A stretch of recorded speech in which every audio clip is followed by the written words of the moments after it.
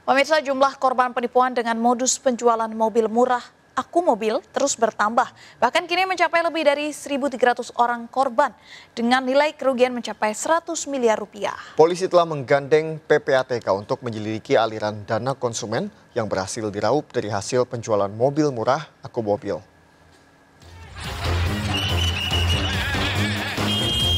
Kantor dan showroom Aku Mobil di Jalan Sadakeling, Kota Bandung, Jawa Barat didatangi ratusan konsumen akhir bulan Oktober lalu. Mereka memprotes manajemen Aku Mobil setelah mobil yang dijanjikan tak kunjung diterima.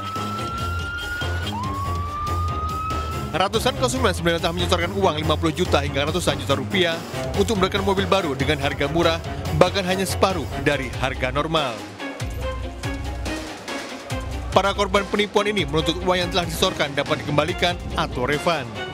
Polisi tengah melacak aset milik tersangka Direktur Utama Aku Mobil berinisial BJB yang diduga berasal dari miliaran rupiah uang setoran para korban.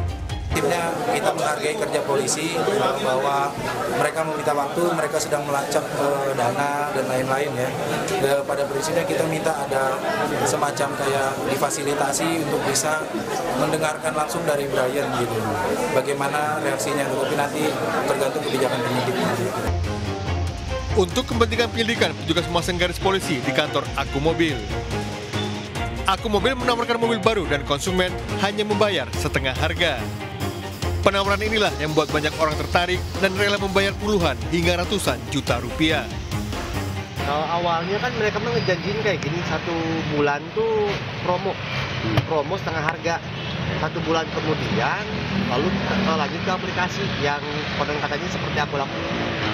Nah setelah dua minggu dua minggu jalan ternyata ada isu bakal ada di lagi saya bilang kalau misalkan uh, apa namanya kelanjutan sale otomatis kan apa ya mereka ngambil dana dari mana Jumlah korban penipuan penjualan mobil murah Aku Mobil terus bertambah. Bahkan kini mencapai lebih dari 1.300 orang korban dengan nilai kerugian mencapai lebih dari 100 miliar rupiah. Menurut polisi, uang setoran para korban digunakan oleh tersangka BJB di antaranya untuk membeli kendaraan mewah dan sejumlah barang lainnya. Kemudian kita lakukan penyidikan lagi, terus kemudian kita uh, trace aset sampai sekarang masih berlangsung.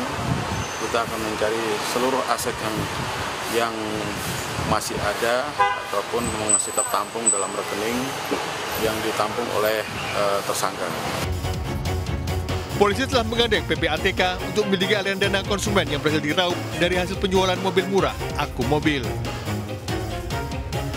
Dari Bandung, Jawa Barat, Muji Prayitno, iNews melaporkan.